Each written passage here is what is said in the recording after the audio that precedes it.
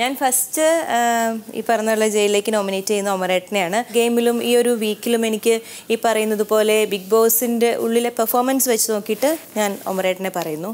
പിന്നെ ഞാൻ പറയണത് സെക്കൻഡ് വൺ അഖിലേട്ടനാണ്. ചില ഇഷ്യൂസ് നടക്കുമ്പോൾ എന്താണ് അതിന്റെ കറക്റ്റ് റീസൺ എന്നറിയാതെ എന്നെ ഇപ്പം ഒരു രണ്ട് വട്ടമായിട്ട് എന്നെ ഈ പറയുന്നത് പോലെ നോമിനേറ്റ് ചെയ്യുന്നുണ്ട്. അപ്പോൾ ഞാൻ ഇപ്പം ഒരു മോർണിംഗ് ടാസ്കിൽ ഇങ്ങനെ റിനോഷ് ബ്രോയുടെയും നമ്മുടെ മാണിക്യത്തിന്റെ ഒരു കാര്യം പറഞ്ഞപ്പോൾ അത് അറിയാതെയാണ് ഫസ്റ്റ് എന്നെ നോമിനേറ്റ് ചെയ്തത്. അപ്പോൾ ഞാൻ ചേട്ടൻ വന്നിരുന്ന പറഞ്ഞു ചേട്ടൻ ഇങ്ങനെയല്ല ഇതാണ് റീസൺ ഓ ഞാനത് പറഞ്ഞു പോയി. അപ്പം എനിക്കങ്ങനെ തോന്നി ഈ പറയുന്നത് പോലെ കറക്റ്റ് കാര്യങ്ങൾ അഭിപ്രായ സ്വാതന്ത്ര്യം എല്ലാവർക്കും ഉണ്ട് കേട്ടോ. സോ ഒമരേട്ടനും അഖിലേട്ടനുമാണ്. ആദ്യം തന്നെ നമ്മളൊക്കെ മനുഷ്യന്മാരാണ്. തെറ്റുകൾ പറ്റും ഒരുപാട് തെറ്റുകൾ പറ്റും. പിന്നെ ഞാൻ എനിക്ക് ഒരു തെറ്റ് പറ്റി. ബ്രോ ചിരിച്ചോളൂ കളിയാക്കി കളിയാക്കി ചിരിച്ചോളൂ. നിങ്ങളുടെ പേഴ്സണാലിറ്റി നിങ്ങളവിടെ കാണിച്ചിരിക്കാൻ മാത്രം ഞാനിവിടെ ആ ചിരിച്ചോ? അല്ല ചിരി ആദ്യം കഴിയട്ടെ. അല്ല ചിരി കഴിയട്ടെ. അല്ല ചിരി കഴിയട്ടെ. ജുനൈസ് നീ അത് കാര്യമായിട്ട് അല്ല ചിരി കഴിയട്ടെ. നീ പറ.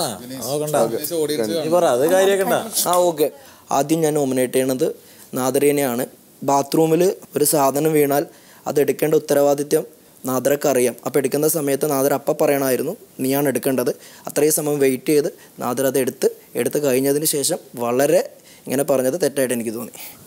ഇത് ഓഡിയൻസ് എല്ലാം അതന്നെ നിനക്ക് തന്നെ നേരെ അഗൻസ്റ്റ് ആവും. ഒരാൾ അങ്ങനെ ചെയ്തത് നിനക്ക് ഫീൽ ചെയ്തിട്ടുണ്ടെങ്കിൽ അത് തന്നെ റിപ്പീറ്റ് ഒരാൾ അവിടെ നമ്മളോട് സംസാരിക്കാൻ നിൽക്കുമ്പോ എന്താണ് ഇത് ഒരാൾ സംസാരിച്ചിരിക്കുമ്പോൾ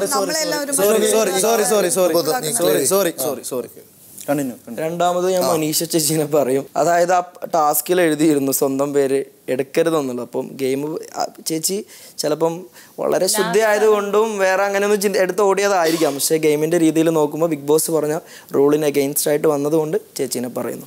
ചിരിക്കേണ്ട ആൾ ചിരിക്കുക. നിങ്ങൾ വലിയൊരു നടനായിട്ട് മലയാള സിനിമ നിങ്ങൾ അംഗീകരിക്കട്ടെ.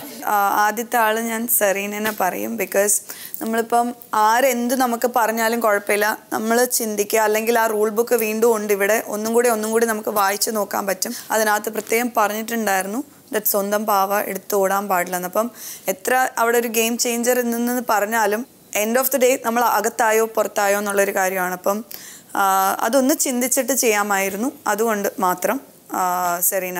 നാദിരേനെ കൂടുതലായിട്ട് പറയും. സോറി എന്ന് പറയുന്ന എല്ലാവരും പറഞ്ഞ പോലെ ഭയങ്കര വാല്യൂ അതായത് അതിന് ഒരു ഇമ്പോർട്ടൻസ് ഉള്ളത്. എന്ത് ആരെന്ത് പറഞ്ഞാലും ആ സോറി എന്ന് പറയുന്ന വാക്ക് ഉള്ളിൽ നിന്ന് വരേണ്ടതാണ്. അല്ലാതെ നമ്മൾ ചുമ്മാ പറഞ്ഞതുകൊണ്ട് അതിന് ഒരിക്കലും ഒരു നീ ഉദ്ദേശിച്ചത് അവളെ കൊണ്ട് സോറി പറയിപ്പിക്കണം എന്നാണെങ്കിൽ പോലും അതിങ്ങനെ ചുമ്മാ വന്ന് കളിയാക്കി അതൊരു അതിനെ ഒരു ഇമ്പോർട്ടൻസേ ഇല്ലാതെയാക്കി കളഞ്ഞു. സോ സെറീന നാദിര. ഞാൻ ഫസ്റ്റ് നാദിരനെ പറയും. ഫസ്റ്റ് ദിവസം മുതൽ ഈ ദിവസം വരെ നാതൃക മാതൃകയാവട്ടെ നാതൃക മാതൃകയാവട്ടെ എന്ന് പറഞ്ഞിട്ട് ഭയങ്കരമായിട്ട് പ്രൊമോട്ട് ചെയ്തിട്ടുള്ള ഒരാളായിരുന്നു ഞാനും ജുനൈസും. ആ വ്യക്തി തന്നെ ടോയ്ലറ്റിന്റെ ഒരു ഇഷ്യൂയിൽ ആരോടും പറയരുത് ആരോടും പറയരുത് എന്ന് പറഞ്ഞിട്ട് ഈ വീട്ടിൽ ആ ബെഡ്റൂമിൽ ഇതിന് എട്ട് ആൾക്കാരോട് നിലയിൽ പറഞ്ഞിട്ടുണ്ട്. അപ്പോൾ ഒരാളുടെ മനസ്സിലുള്ള ചിത്രം തെറ്റായ രീതിയിലേക്ക് പതിപ്പിച്ചതിന് നാദരയുടെ ഭാഗത്ത് തെറ്റ് തോന്നി. ബാക്കിയൊക്കെ പ്രേക്ഷകർ കണ്ട് ചെയ്യട്ടെ. എന്റെ വ്യൂ പോയിന്റ് നാദരനെ കൊണ്ട് ഞാൻ നോമിനേറ്റ് ചെയ്യുന്നു. ഒമർക്കാനാണ് ഞാൻ അടുത്ത് ചെയ്യാൻ പോകുന്നത്. ഒരു പിക്നിക്കിന് ടൂർ വന്ന പോലെയായിട്ടാണ് എനിക്ക് തോന്നിയത്. അത് ഗെയിമിന്റെ പ്ലാൻ ആയിരിക്കും. എന്തായാലും അടിപൊളി. അങ്ങനെ തന്നെ പോട്ടെ. അടുത്ത മാസം ഇരുപത്തിരണ്ടാം തീയതി ഒരു ഡേറ്റിന് പോകുമെന്നും പറയുകയും ചെയ്തു. അതുകൊണ്ട് ഇനി നോമിനേറ്റ് ചെയ്യാൻ പറ്റിയെന്ന് പറ്റുമെന്ന് എനിക്കറിയില്ല. അതുകൊണ്ട് ആരൊക്കെയാണ് ഞാൻ ഒമർക്കാന് ആരുടെയോ? ആര് ക്യാപ്റ്റൻ ആരെയൊക്കെയാണ് തിരഞ്ഞെടുത്തത്? ബിഗ് ബോസ് ഏറ്റവും കൂടുതൽ നോമിനേഷനിൽ വന്നേക്കുന്നത് നാദിറയും ഓമറുമാണ്. ഇപ്പോൾ എല്ലാവർക്കും പിരിഞ്ഞു പോകാം. Thank you big boss